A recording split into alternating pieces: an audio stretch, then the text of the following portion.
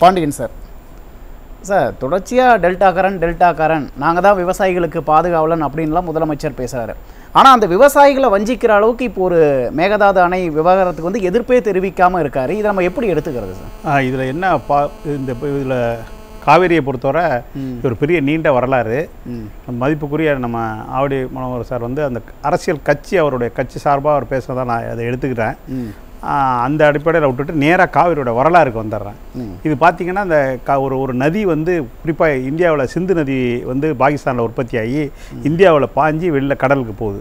அதே மாதிரி கங்கை நதி வந்து இந்தியாவில் உற்பத்தி ஆகி பங்களாதேஷ் வழியாக போய் கடலில் கலக்குது. திருப்பி இந்தியாவுக்கு வந்து அது கடலில் கலக்கும் பார்த்தீங்கன்னாக்கா எங்கேயுமே நமக்கு இந்தியாவை வந்து பாகிஸ்தானோட போர் பண்ண ஆயிரத்தி தொள்ளாயிரத்தி எழுவத்தொன்று கூட சிந்து நதியெலாம் வந்து நிப்பாட்ட முடியாது தண்ணியை அதே மாதிரி கங்கையில் வந்து இந்தியா நிப்பாட்ட முடியாது பங்களாதேஷ்க்கு போகிறது நம்ம நேரா காவிரிக்கு அதான் நேரம் ஒரே நிமிஷம் தான் அவ்வளோதான் முடிஞ்சு வச்சு அது வரல அது இதுக்காக சொல்கிறேன்னா ரிப்பேரியன் ரைட்ஸ் அப்படிங்கிறது தான் வந்து ஒரு மேலே இருக்க ஒரு தண்ணி ஒரு மாநிலமாக இருக்கட்டும் ஒரு நாடாக இருக்கட்டும் அங்கேருந்து தண்ணி வந்துச்சுன்னா அவங்க சௌரியத்துக்கு ஆனால் கட்ட முடியாது. இது சர்வதேச சட்டம். அதனால் இந்தியாவுக்கோ இல்லை தமிழ்நாடு கர்நாடகாக்கோ ஒரு பொது கிடையாது. இது எல்லா இடத்துக்கும் பொதுவான சட்டம். இந்த சட்டப்படி காவிரியில் வந்து தமிழ்நாட்டுக்கு அதாவது பாசன பகுதி உள்ள தமிழ்நாட்டுக்கு தான் அதிக உரிமை இருக்குது கர்நாடகாவில் வந்து தண்ணி உற்பத்தி ஆனால் கூட மழை பெஞ்சு உற்பத்தி ஆனால் கூட குடகுலையோ போய் வேற எதுவும் கட்ட முடியாது. இது ஆயிரத்தி தொள்ளாயிரத்தி அது இதில் எமர்ஜென்சி காலத்தில் சில அணைகளை வந்து கர்நாடகா இதே இப்போ உள்ள பிரச்சனை மாதிரி ஹேமாவதி ஹீரங்கி சில அணைகள் வந்து கர்நாடகா மாநில அரசு இல்லாமல் அப்போ வந்து மாநில அரசு வந்து இப்ப ஒரு எமர்ஜென்சி இருந்துச்சு. வந்து கவர்னர் ஆட்சி இருந்ததுன்னா இல்ல, நான் சொல்லிடுறேன். சொல்றது எமர்ஜென்சி காலம்னு சொல்லாதீங்க. இல்ல இல்ல அந்த அணை சொல்லுங்க இல்ல நான் சொல்லிடுறேன். எழு சார் சார் கூட சொன்னாங்க. அந்த ஒப்பந்தம் வந்து ஐம்பது வருஷம் கழிச்சு எழுபத்தி நாலுல காலாவதி கிடையாது.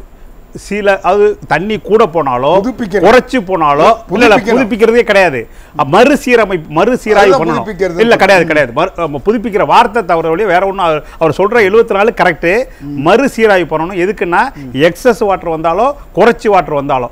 அது வந்து அதுல அதுல எதுவுமே தப்பு நடக்கல. இல்ல நீங்க இப்படி சொல்றீங்க. ஆனா ஆவடிக்குமார் சார் என்ன சொல்றாரு? ஸ்டாலின் அவர்கள் குடும்பத்துல இருக்கவங்களை கைது பண்ணிடுவாங்க அதனால தான் அவங்க வந்து எதையும் எதிர்க்க எதிர்ப்பு போல, ஏன் அப்படி- அப்படின்னு அவர் சொல்றாரு. நான் மறுக்கல. அவர் அவர் சொல்றதுல வந்து நான் அது வந்து அரசியல் கட்சி சார்பா அவர் வைக்கிற விமர்சனம் நான் சொல்றது வரலாறு. எழுபத்தி நாலுல மறு சீராய்வு மட்டும் அந்த எக்ஸஸ் வாட்டருக்கும் அல்லது குறைச்சி வாட்டர் வந்ததுன்னா அதை பண்றதுக்கு மட்டும் தான் சீராய்வு. அதுல எதுவும் தப்பு நடக்கல. ஆனா அதுக்கப்புறம் எப்பப்பெல்லாம் இல்ல இல்ல இல்ல ஒப்பந்தமே போடலைங்க. இல்ல, ஒப்பந்தம் போட முடியாதுன்ற. இல்ல இருபத்தி நாலு ஒப்பந்தம் நான் சொல்லிடுறேன் நீங்க சரியான்னு சொல்லுங்க. இருபத்தி நாலு ஒப்பந்தம் ஐம்பது ஆண்டுகளுக்கு பிறகு எழுபத்தி நாலில் சீராய்வு செய்யப்பட வேண்டும்ன்றது தான் அதனுடைய சரத்து. சீராய்வு செய்யல. அப்போ வந்து சீராய்வு செய்யலன்றது மட்டும் இல்ல அந்த எழுபத்தி நாலுல தான் ஹேரங்கி அணையை கட்ட ஆரம்பிக்கிறாங்க. அதுக்கப்புறம் ஹேமாவதி கட்ட ஆரம்பிக்கிறாங்க. அறுபத்தி ஒன்பதுல இருந்து எழுபத்தி ஆறு வர கபினி திறக்கிற வரைக்கும் தமிழ்நாட்டினுடைய முதலமைச்சர் கருணாநிதி. கரெக்ட் இதில் வந்து இந்த ரெண்டாவது இதில் நான் இது மாறுபாடு இல்லை. முதல் இதில் நான் சொல்லிட்டேன். என்ன வந்து மறுசீரமைப்பு மறுசீராய்வுக்கும் புதுப்பிக்கிறதுக்கும் உள்ள வித்தியாசம் சொல்லிட்டேன். இந்த இதில் என்ன பண்ணுறாங்கன்னா அப்போ கவர்னர் ஆட்சி நடக்குது கர்நாடகாவில். அதுக்காக பட்ஜெட்டில் பணம் ஒதுக்குறது வந்து ஒன்றிய அரசு ஒதுக்குவாங்க. இந்த மாதிரி கவர்னர் ஆட்சி இருந்தால் அப்போ இந்த இந்த இந்த பர்மிஷன் இல்லாத அன்னைக்கு ஒன்றிய அரசு இது வந்து பணம் ஒதுக்கிடுறாங்க. இது ஒரு வரலாறு. இது முடிஞ்ச நேரம் இப்போ வந்துரும் நீங்க நீங்க சொல்றது புரியுது. நீங்க சொல்றது எனக்கு புரியுது. ஒரு- அப்ப நிமிஷம் இவ்வளவு- இருங்க. சார், ஒரு நிமிஷம் அப்போ ஒன்றிய அரசு அப்ப எந்த அரசு? அது சொல்லுங்க. அது நீங்களே சொல்லுங்க. எங்களுக்கு ஒன்றும் பிரச்சனை நான் ஒன்றும் மறைக்கலையே? சார் நான் மறைக்கலையே. சரி இப்போ இவ்வளவு சட்டத்திட்டங்கள் இருக்கு இல்ல இருக்கட்டும். இருக்கட்டும். எதுக்காக சொல்ல வரேன்னா எந்த தேசிய ஆட்சிகள் கட்சிகள் டெல்லியில் ஆண்டா கூட இந்த நிலைமை தான் நமக்கு. அதுக்கு அடுத்த உதாரணமும் சொல்றேன். இப்போ நடந்ததை சொல்றேன். இப்போ சுப்ரீம் கோர்ட்ல இதுக்கு தீர்ப்பு கொடுக்குறாங்க. என்ன தீர்ப்பு கொடுக்குறாங்க? அந்த அந்த கொடுத்தப்ப வாரிய அமைக்கணும்னு கொடுக்குறாங்க. போர்டு. போர்டு கொடுத்தா உரிமை ஜாஸ்தி. இப்போ என்ன பண்ணிருக்காங்கன்னா பள்ளி இல்லாத ஆணையம் அமைச்சிருக்காங்க ஒன்றிய பிஜேபி அரசு. அப்ப இங்க இல்ல, இல்ல இல்ல நீங்க தவறா சொல்றீங்க. சொல்லுங்க. இந்த ஆணை பள்ளி இல்லாத ஆணையன் புரட்சி தலைவி அம்மா சொன்னாங்க. எப்பன்னா அது கருணாநிதி ஆட்சி காலத்தில் மன்மோகன் சிங் அரசாங்கம் அமைச்சது பள்ளி இல்லாத ஆணையம் அது அதுக்கு பிறகு அண்ணன் எடப்பாடியார் முதலமைச்சராக இருந்தபோது இருபத்தி ரெண்டு நாள் நாடாளுமன்றத்தை முடக்கி அதற்கு பிறகு அமைக்கப்பட்டது இன்னும் பல்லுள்ள ஆணையம் அப்போ வந்து அந்த பிரதமர் தலைமையில் நீர் ஒழுங்காற்று குழுன்னு ஒன்று அமைச்சாங்க. அதையெல்லாம் எடுத்துட்டு இப்போ வந்து உறுதியான ஆணையம் இருக்கு. அதை செயல் செயல்படுத்துகின்ற அந்த குழு இருக்கு. அது பொறியாளர்கள் வச்ச குழு. எல்லாமே இப்போ சட்டப்படி அதில் தமிழ்நாட்டினுடைய பிரதிநிதி இருக்காங்க பொறியாளர் இருக்காங்க எல்லாமே ஆணையம் சட்டப்படி இருக்கு. சார் இப்போ சார். சொல்ற அதிமுக காவிரிக்காக என்ன இல்ல, நம்ம கடந்த காலங்கள்ல நம்ம பார்த்துட்டு தான். தமிழ்நாட்டை பொறுத்தவரை ரெண்டு கட்சியும் நான் பிரிச்சு பார்க்கல. ஏன் பிரிச்சு பார்க்கலனா நம்ம உரிமை வந்து நமக்கு ரிப்பேரியன் ரைட்ஸ் உள்ள மாநிலங்கள். அப்ப எல்லாரும். ஒற்றுமையா இருக்கணுங்கிறதா இதுல பாயிண்ட் ஒழிய எனக்கு வேறு கருத்தே கிடையாது. சார் ஒரே ஒரு கேள்வி தான் சார். நீங்க அணை கட்ட முடியாது அப்படின்னு சொல்றீங்க. ஆமா. ஆனா அந்த மாநில துணை முதலமைச்சர் என்ன சொல்றாரு? அணை கட்டுறதா என் லட்சியம் அப்படின்னு சொல்லி இதுக்காக தான் நான் நீர்ப்பாசனம் இருக்கு அப்படின்னு சொல்றாரு. இது ஒரு அவங்க அவங்க மாநிலத்தின் நலனுக்காக அப்படி சொல்றாங்கன்னு வச்சுங்க மாநில நலனுக்காக முதலமைச்சர் ஸ்டாலின் அவர்கள் என்ன சொல்லி அதுக்கு ஒரு. எதிர்ப்பு தெரிவிச்சிருக்கணுமா இல்லையா? ஏன் தெரிவிக்கல? உங்களுதுல ஒரு சின்ன மாற்று. அவங்க கர்நாடகாவில் பண்றது எப்போதுமே தண்ணியை வச்சு அரசியல் தான் பண்ணுவாங்களோ ஒழிய இந்த இவங்க மட்டும் இல்ல. இதுக்கு முன்னாடி பிஜேபி கவர்மெண்ட் கொஞ்ச நாள் அவங்க தான் முதல்ல அவங்களும் பண்ணாங்க. அப்ப. அவங்களும் இதே மாதிரி அணை கட்டணும் அந்த விவசாய அமைச்சரும் அப்ப சொன்னாரு. அப்பயும் வந்து இங்க வேற ஆட்சி தான் இருந்துச்சு. நான் அந்த அதுக்கே போகல. இப்போ உள்ளதுக்கும் போல அப்போ உள்ளதுக்கும் போல. என்னுடைய பாயிண்ட் வந்து கர்நாடகாவில் ஒன்றிய தேசிய கட்சிகள் எது இருந்தாலும் ஆண்டாலும். ஒரே ஒண்ணு மட்டும் செய்வாங்க அரசியல் பண்ணிக்கிட்டே இருப்பாங்க தண்ணியில. சார் ஒரு ஈஸியான கொஸ்டின் சார். என்னன்னா அதிமுக அந்த காவிரி உரிமையில போராடுற அளவுக்கு கூட திமுக போராடுறது இல்ல. ஏன்? அதான் சார். அப்படி பார்க்கவே கூடாது. ரெண்டு கட்சியும் அந்தந்த காலகட்டத்தில் கண்டனம். அந்த தீர்மானம் சார். ஒரு- நிமிஷம் நீங்க கேட்டதை நான் சொல்றேன். காவிரி பாசன விவசாயி சங்கம் வந்து மரியாதைக்குரிய ரங்கநாதன் அவர்கள் முயற்சியில் வழக்கு போட்டதை கூட வாபஸ் வாங்கிட்டு வந்து ஒரு கருணாநிதி. எதுக்கு இவ்வளவு பின்ன செட்பேக் வந்தது நமக்கு? இல்ல இல்ல வழக்கு போட்டது ஓகே. ரங்கநாதன் மன்னார்குடி ரங்கநாதன் போட்டது உண்மை. அந்த வழக்குல தான் அது இல்ல சார் இந்த வரலாறுல ஒரு பக்கம் இருக்கு. நான் அவரு இது- ஒரே ஒரு கொஸ்டின் தான் திமுக ஏன் எதிர்ப்பு தெரிவிக்கல? அதுக்கான பதில சார். திமுக என்ன முன்னெடுப்பு செஞ்சது? ஏதாவது சொல்லுங்க. நம்மளோட தமிழர்களோட என்ன இந்த ஒரே? ஒரு இந்த இந்த விஷயத்துக்கு சட்டசபையில தீர்மானம் போட்டப்ப அதிமுகவும் அதுல சேர்ந்து ஒருங்கிணைந்த ஒரே இல்ல சார் இது இது இருக்கட்டும் சார். நான் திமுக என்ன செஞ்சதுன்னு கேக்குறேன் இல்ல அதான் தீர்மானம் போட்டிருக்கு. அதுல சட்டசபையில அதிமுகவோட சேர்ந்து தான் போட்டிருக்க வழியே தனியா போட கிடையாது அதுல. இந்த விஷயத்துக்கு போட்டிருக்கு. மேகதாது அணைக்கு தீர்மானம் தமிழ்நாட்டுல போட்டிருக்காங்க. அது அவரே சொன்னாரு. நானும் அதை இல்ல இவ்வளவு சொல்றீங்க. ஆனா ஸ்டாலின் வந்து வெளிப்படையா ஏன் கண்டனம் தெரிவிக்க நீங்க- டி கே சிவகுமார் ஓபனா சொல்றாரு. ஆனா கட்டியே தீர்வு அப்படின்றாரு. துரைமுருகன் இவரு கண்டனம் ஏன் தெரிவிக்க மாட்டேங்கிறாங்க?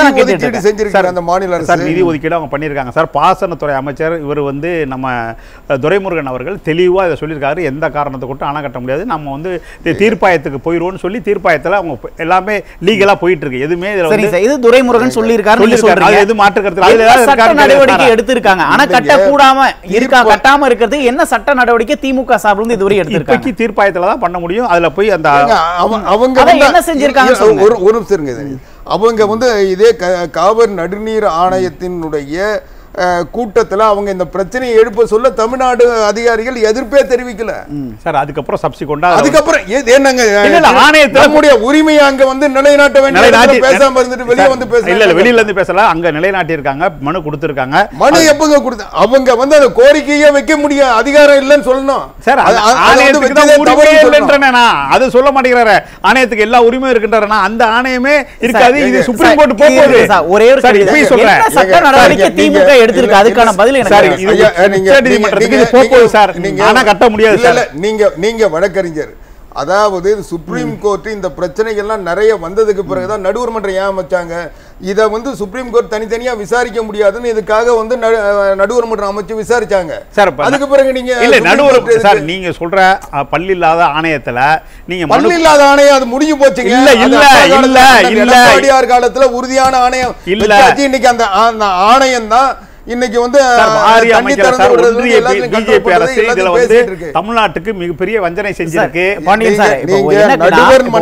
சட்ட படி நடவடிக்கையும் இல்ல அதாவது மேகதாது மேகதாது அணையை தடுக்கிறதுக்கு சட்ட நடவடிக்கையும் இல்ல, இல்ல இருக்கு. நீங்க முடியாது. ஸ்டேட்மெண்ட்டும் இல்ல அப்படின்னா இல்ல, இல்ல, இல்ல, இருக்கு. திமுக அரசு இந்த காவிரி உரிமையை வந்து தாரை வார்க்க இல்ல, தயாராகிடுச்சு ஓ எந்த காலத்திலும் விட மாட்டாங்க நீ கவலையப்பட வேண்டாம் தமிழ்நாட்டுல அண்ணா திமுகவும் சரி திமுகவும் சரி ஒன்றிணைஞ்சு எல்லா அரசியல் கட்சியும் விவசாய சங்கம் எல்லாம் உட்பட இருக்கட்டும் சார் என்ன சட்ட நடவடிக்கை இல்ல, இல்ல. எடுக்கலாம்னு நீங்க சொல்ல முடியுமா? மக்களுக்கு சொல்ல. முடியுமா?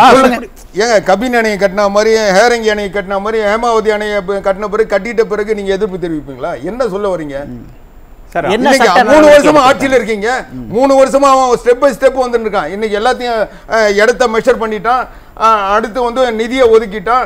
அடுத்து எல்லாம் செஞ்சுட்டே வரான் இவ்வளவு process நீங்க நடந்துச்சு சார். இவ்வளவு process நடந்துச்சு. நம்ம என்ன சட்ட நடவடிக்கை எடுத்தோம்? பிறகு வந்து நீங்க தடுப்பீங்களா சார் கேள்வி. ரொம்ப சிம்பிள் சார் என்ன திமுக என்ன சட்ட நடவடிக்கை எடுத்திருக்குன்னு. மனு கொடுத்து மனு பெண்டிங்ல இருக்கு அதுல எந்த மாற்று கருத்தும் கிடையாது ஒண்ணு ஏங்க நடுவர் நடுவர். மன்றத்துல நீங்க தான் பள்ளி இல்லன்றீங்க அப்ப அந்த இல்லைன்ற நானே அங்க போய். போய் கொடுத்து என்ன பண்ணுவீங்க சார், அவருக்கு மாசம் நம்ம பேசலாம் அவர் அந்த என்ன நடவடிக்கை எடுத்திருக்காங்கன்னு சொல்லட்டும். அதுக்கப்புறம் அந்த அவங்க இருக்கிற அந்த பள்ளி இல்லாத ஆணையம் இந்த மனுவை வந்து தள்ளுபடி பண்ணிட்டு பண்ண முடியுமா அல்லது அவங்க வந்து பர்மிஷன் வாங்கிட்டு சென்ட் ஒரு ஒன்றிய அரசுல அவங்க பர்மிஷன் வாங்கிட்டு தான் இதுக்கு வந்து கொடுக்கணும். இதை நல்லா புரிஞ்சுங்க. நீங்க- நீங்க நீங்க இதுல ஒன்றிய அரசு தலையிடவே முடியாது. நான் அஹ், தெளிவா சொல்றேன். நதிநீர் ஆணைய சட்டப்படி நதிநீர் ஆணையத்துக்கு தான் எல்லா உரிமை நான் இருங்க. முடிச்சிடறேன் நீங்க அது என் நேரத்துல நீங்க பரவாயில்ல. இல்ல விளக்கம். தெரியணும்ல நீங்க சொல்றது நீங்க சொல்றது நான். மறுக்கவே இல்ல. நேரம் தருவாங்க. அதாவது அந்த உரிமையும் கடமையும் அந்த நதிநீர் ஆணையத்துக்கு தான் இருக்கு. ஏன்னா அது எல்லா மாநிலத்தினுடைய ரெப்ரசன்டேஷனோட அது நடக்குது. அவங்க சேர்ந்து ஒட்டுமொத்தமா ஒரு தீர்மானம் நிறைவேற்றினாதான் அல்லது அந்த மெஜாரிட்டி படி நிறைவேற்றினாதான் அதை செயல்படுத்த முடியும். நீங்க அங்க வந்து அவங்க கோரிக்கை வைக்க சொல்ல அதை தடுக்க முடியும். அதை தடுக்காம விட்டுட்டு அதுக்கப்புறம் நீங்க வந்து சார் இப்ப குமார் சார் போறீங்க? இவ்வளவு கேக்குற இதுக்கு உங்களோட பதில் என்ன அதுதான் சார்? இதுக்கு பதில் வந்து தீர்ப்பாயத்துல இருக்கு சார். தீர்ப்பாயம் வந்து இதான் ஏற்கனவே. தீர்ப்பாயம் இல்லைங்க அது ஆணையங்க. ஆணைய ஆணையத்துல அந்த ஆணையத்துல பள்ளி இல்லைன்னு சொல்லிடுறேன் திருப்பி அவர் இருக்குன்றாரு. சார், தனி இல்ல, ஒரு. சிம்பிளான கொஸ்டின் இந்த ஆணையத்து வழியா நீங்க இந்த மேகதாதுக்கு எதிராக என்ன பண்ணிருக்கீங்கன்னு சொல்லுங்க நான் அடுத்த கெஸ்ட் இல்ல போயில இல்ல இந்த இந்த ஒரு ஒரு ஒரு அணை கட்டுறதுன்னா ஒன்றிய அரசு வந்து சுற்றுப்புறச் சூழல் மத்த நிறைய இதுக்கு பர்மிஷன் கொடுக்கணும். அதனால ஒன்றிய அரசு வந்து இல்லாம இது நடக்காது. அது மட்டும் இல்ல. இது இது எது தப்பு பண்ணாலும் அது கட்ட ஆரம்பிச்சாலே இது வந்து ஒருவேளை இந்த தீர்ப்பாயத்து ஆணையத்துல வந்து விட்டுட்டு போயிடுச்சு மிஸ் ஆயிடுச்சுனாக்கா நம்ம அடுத்த சுப்பு உச்சநீதிமன்றத்துக்கு போயிடும் அதனால இதுல எதுவுமே எந்த இடத்துலயும் உரிமையை விட்டு. ஒரு கொஸ்டின் சப்போஸ் இப்ப மத்தியில வந்து காங்கிரஸ் ஆட்சிக்கு வந்துருச்சு அப்படின்னா அவங்க கர்நாடகாவுக்கு ஃபேவரா பண்ணுவாங்களா இல்ல தமிழ்நாட்டுக்கு ஃபேவரா பண்ணுவாங்களா? இந்த மேகதாது அணை சரி விவகாரம் இதுக்கு முன்னாடி ஒரு ஒன்றரை வருஷத்துக்கு முன்னாடி கர்நாடகா இப்போ இந்த எலெக்ஷனில் காங்கிரஸ் மாறுறதுக்கு முன்னாடி ஒன்றியத்திலையும் பிஜேபி இருந்துச்சு நம்ம கர்நாடகாவிலையும் பிஜேபி இருந்துச்சு. அப்பையும் இதே பேச்சு தான் நடந்துச்சு. அதனால அங்கே வந்து தொடர்ந்து அரசியல் பண்ணிக்கிட்டு இருப்பாங்க. கர்நாடகாவில் தண்ணிக்காக.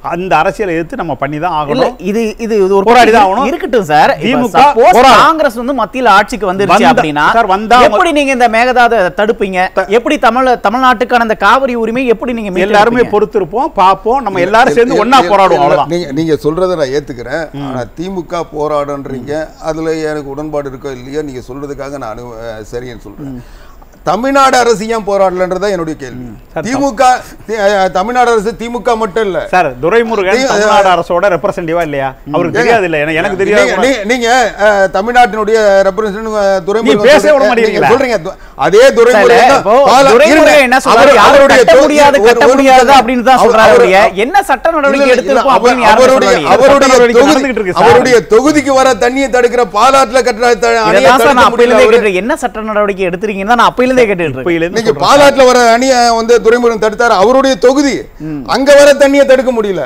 அவர் வந்து சொல்றதை வச்சு நம்பிட்டு உட்காந்துருக்கீங்க பாண்டியன் சார் நம்ம பேசலாம். பாண்டியன் சார் ஒரு பக்கம் வந்து காவிரி விவகாரத்துல எதிர்க்கட்சி தலைவர் என்ன கேள்வி கேட்டாலும் ஸ்டாலின் வந்து பதில் சொல்ல முடியாம திணறாரு.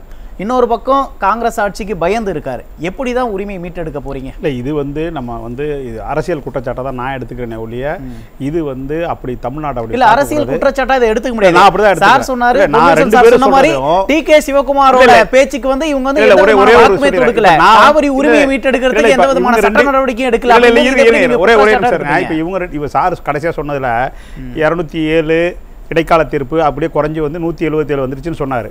இப்ப எல்லாம் இருந்தது இந்த ஆட்சின்னு சொல்றாரு. யார் ஆட்சின்னு சொல்றாரு? நான் அதை வந்து அதெல்லாம் நீங்க போராடலையான்னு நான் கேட்கல. ஏன்னா அது வந்து சுப்ரீம் கோர்ட்ல இருந்து வந்த சிக்கல். அதனால எல்லாரும் சேர்ந்து ஏத்துக்கிட்ட விஷயம். அதனால அது அந்த மாதிரி இவங்கள மாதிரி நான் அரசியல் பேச இங்க வரல. என்னுடைய பாயிண்ட் வந்து உரிமைக்கு குரல் கொடுக்குற தமிழ்நாட்டு மக்கள் எப்போதும் குரல் கொடுப்பாங்க. இதுல திமுக அண்ணா திமுக பிரிக்காதீங்க. தமிழ்நாட்டு மக்கள் தொடர்ச்சியா வந்து கண்டன குரல் எழுப்பிட்டு தான் வராங்க. எழுப்புவாங்க. ஸ்டாலின் அவர்கள் ஏன் எழுப்பல. அப்படிங்கிற கேள்விதான் இங்க நம்ம எல்லாமே பேசிட்டு. முதலமைச்சரை தவிர கூட்டணி கட்சிகள் இருக்க விசிக மார்க்சிஸ்ட் உள்ளிட்ட கட்சிகள் கூடமே கண்டன குரல் எழுப்பவே இல்லை. இல்ல இல்ல. இப்ப இப்பயும் சொல்றேன் சட்டசபையில இதுக்கான தீர்மானம் வரும்போதெல்லாம் எந்த இப்ப ஆவடிக்குமார் இருக்கிற அந்த கட்சி உட்பட எல்லாரும் ஓட்டு போட்டு தான் அந்த தீர்மானம் ஏகமனதாக தான் நிறைவேற்றப்படும். அது ஜெயலலிதா இருந்தப்ப காலத்திலயும் சரி எப்பயுமே சரி. சுருக்கமா. அதனால எப்பயுமே தமிழ்நாட்டு உரிமையை யாரும் விட்டு கொடுத்ததில்ல ஸ்டாலின் வந்து முந்தியோட இந்த இப்ப இருக்கிற ஒன்றிய பிஜேபி அரசு. வலிமையா இருந்தும் கூட கரெக்டா உரிமையில காப்பாத்திக்கிட்டு இருக்காரு இந்த விஷயத்திலையும் கரெக்டா சார் கவலையும் வேண்டாம் நன்றி யாருக்கும். சார்